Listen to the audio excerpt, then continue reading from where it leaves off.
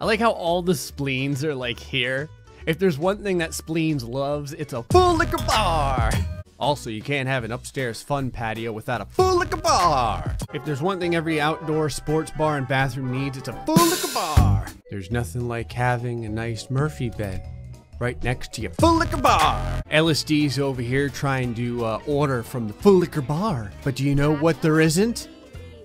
There's no one manning the bar. You know what would make things slightly better for the proctors? A full liquor bar. That's right. Instead of a toilet, every bathroom is gonna have something that's a thousand times better.